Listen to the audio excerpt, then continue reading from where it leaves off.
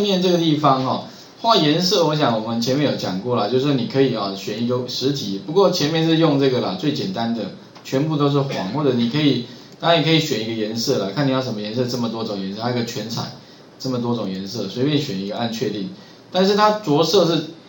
整个一起实体的，可是如果说你今天希望怎么样，某一个面，比如说我今天希望哦，这个有四面，它底下五面哦，它全部不一样颜色的话。那你就可以用什么着色面，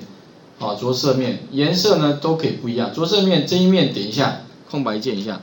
他会问你说哪个颜色，那你给它红色按确定，这个就红色了。好，那还可以再着色，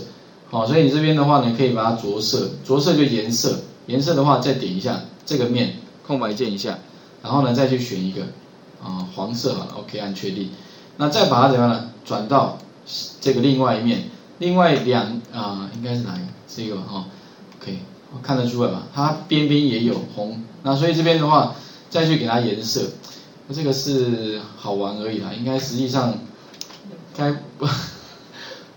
点点错了啊，用不太到了啊，不过就是大概知道一下。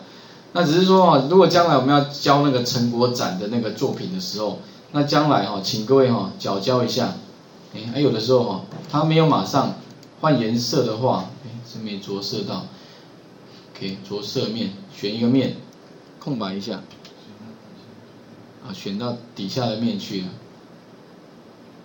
着色面，哦，点到了，OK，好，那一样啊，这个地方自己再选一个颜色，好，那到时候的话呢，我们成果展的作业哦，就是要漂亮一点，因为要给别别人看的嘛，别人看的话呢，反正图画的不怎么样，但是颜色多是就占就就就赢了哈。